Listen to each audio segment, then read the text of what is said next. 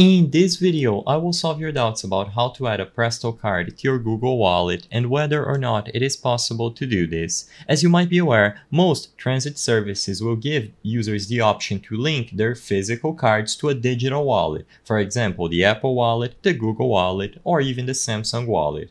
By linking a transit pass or a transit card to one of these digital wallets, it makes it much more convenient to board any vehicles because you can simply use your phone as the card card, you place it near the card reader and you will be able to pay for the transit. Well, instead of using your physical card, you are basically using the digital wallet integration. So, as of today, does Presto offer users the option to link their cards to a digital wallet like the Apple Wallet, Samsung Wallet, more specifically the Google Wallet? If you try to open up the Google Wallet and you go through the options to add different cards, you select a transit card and you follow through the instructions on screen, you will notice that there is no option to select regions in where the Presto card is available or no options to select the Presto card itself.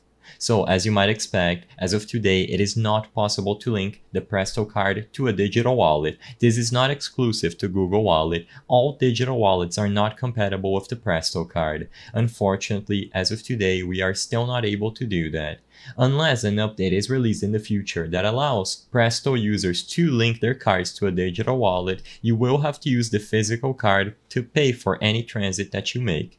The purpose of this video is not to spread misinformation, but to let people be aware that this is a feature that Presto must update on their end, and because they haven't enabled the feature for its users, we are still incapable of adding their cards to digital wallets like the ones that I mentioned.